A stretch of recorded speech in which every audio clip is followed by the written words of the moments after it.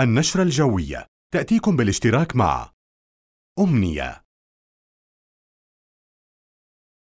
المناصير للزيوت والمحروقات. المركزية وكلاء تويوتا ولكزس حبيبة. مجمع الملك الحسين للأعمال. بايولاب نظم الحمل بتخفف الحمل. متابعينا متابعي طقس العرب الكرام في الأردن أسعد الله أوقاتكم بكل خير وصحة. نستعرض معكم الآن آخر توقعات وتحديثات الحالة الجوية خلال الفترة القادمة في عموم أنحاء المملكة. متوقع أن تستمر الأجواء مستقرة نهار هذا اليوم الأربعاء مع نشاط إضافي في الرياح الشرقية. هذه الرياح من شأنها أن تجعل الأجواء باردة بشكل أكبر بالرغم من هذا الارتفاع وذلك مع ساعات الصباح الباكر خلال الساعات الماضية. كذلك الحال خلال ساعات الليلة القادمة الأولى. توقعات كذلك الحال بتأثير امتداد لمنخفض جوي بالفترة الممتدة ما بين الخميس إلى السبت على فترات متباعدة على أنحاء المملكة هذا المنخفض متوقع أن يصنف على أنه من الدرجة الثانية وفقا لتصنيف طقس العرب الممتد في شدة المنخفضات الجوية الممتد من الدرجة الأولى الأضعف نحو الدرجة الخامسة الأشد والاستثنائية. سيكون هذا المنخفض الجوي من الدرجة الثانية. هذا المنخفض متوقع أن يتمركز سطحيا إلى الشمال من جمهورية مصر العربية ومرفق بكتلة هوائية باردة جدا. كذلك الحال رطبة بعد مشيئة الله. هذا المنخفض الجوي سيؤثر على فترات متباعدة كما تحدثنا من الخميس وحتى السبت. هذا كذلك الحال الهطول الناتج عنه وبالتالي سيكون على شكل زخات متباعدة تبدأ هذه أولى هذه الزخات مع ساعات فجر. الليلة القادمة ليلة فجر الخميس وليلة الأربعاء الخميس على شكل هطول زخات محلية خفيفة من الأمطار في مناطق متفرقة من المملكة. تتجدد أيضا هذه الفرصة مع ساعات ليلة الخميس على الجمعة. حتى ساعات صباح الجمعة الأولى فوق العديد من المناطق تكون على هيئة ثلوج فوق المرتفعات التي يزيد ارتفاعها عن 1000 متر على سطح البحر. تمتد على أجزاء عدة من المرتفعات الجبلية في المملكة تشمل بذلك مرتفعات العاصمة عمان. تنتهي هذه الفرصة كما تحدثنا مع ساعات. صباح الجمعة إذا هي فرصة لفترة تقل عن ثمانية أو عشرة ساعات في الفترة الممتدة ما بين مساء الخميس وحتى صباح الجمعة.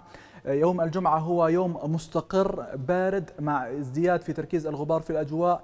من جديد مع ساعات ليل الجمعة على السبت. ويوم السبت تعود المملكة للتأثر بهذا الامتداد للمنخفض الجوي الذي هو بعيد عن المملكة سنتأثر بذلك بتأثيرات غير مباشرة لهذا المنخفض الجوي. نبدأ معكم من خلال استعراض آخر خرائط الهطول الخاصة بالمنخفض الجوي. نلاحظ معكم ليلة الخميس الأربعاء الخميس بدء هطول زخات محلية من الأمطار في مناطق مختلفة من المملكة.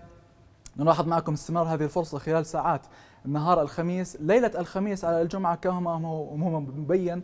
نلاحظ معكم أن كميات الهطول الأكبر ستتركز على سواحل دولة فلسطين خاصة الشمالية منها ونحو سوريا ولبنان بالتأثير المباشر لهذا المنخفض في حين هنالك ارتفاع في نسب الرطوبة في طبقات الجو البنائية المتوسطة والعالية وبالتالي نشوء لسحب ركامية على المرتفعات.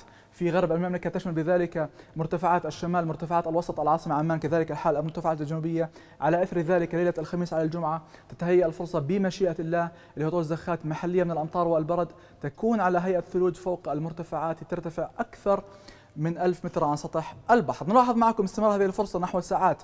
صباح الجمعة تنتهي تماما هذه الفرصة ساعات نهار الجمعة. إذا نهار يوم الجمعة طقس مستقر بارد مع ارتفاع في تركيز الغبار على الأجواء. نلاحظ معكم استمرار تأثر سواحل دولة فلسطين كذلك الحال لبنان وسوريا بهذا المنخفض الجوي. لتعود الفرصة وتتجدد مع ساعات ليل الجمعة على السبت ونهار يوم السبت. حيث تعود الهطولات أو السحب الممطرة بالدخول من من الحوض الشرقي للبحر المتوسط من جديد نحو أجزاء متفرقة من المملكة وبالتالي توقع تجدد هطول زخات متفرقة من المطر والبرد خلال ليلة الجمعة على السبت ونهار السبت بمشيئة الله. التوقعات الجوية الخاصة بالليلة القادمة 8 درجات مئوية هي درجة الحرارة الصغرى المتوقعة مع ازدياد تدريجي في كميات السحب في الأجواء وتهيأ الفرصة مع ساعات الليلة القادمة المتأخرة لهطول زخات محلية من الأمطار في أجزاء عشوائية. ننتقل معكم الآن لاستعراض التوقعات الخاصة بالثلاث أيام القادمة.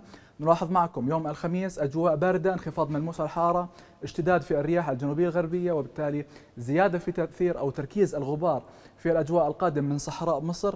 كذلك الحال نلاحظ معكم ليلة الخميس على الجمعة تهيئ الفرصة لهطول زخات متفرقة من المطر والبرد وتكون على هيئة ثلوج في المناطق ترتفع أكثر من ألف متر عن سطح البحر تشمل بذلك مرتفعات العاصمة عمان لكن تنتهي هذه الفرصة سريعا مع ساعات صباح الجمعة. اليوم الجمعة طقس مستقر بارد أتربة مثارة مع ساعات النهار تتجدد الفرصة لهطول زخات متفرقة من الأمطار والبرد مع ساعات الليل كذلك الحال تمتد الفرصة نحو يوم السبت بمشيئة الله. إذا منخفض جوي من الدرجة الثانية يمتد في تأثيره ما بين الخميس والسبت مع طقس مستقر خلال نهار الجمعة وهطول لزخات متفرقة من المطر والبرد والثلوج لكن لفترات قصيرة ومتباعدة. كان كل ذلك حتى الله.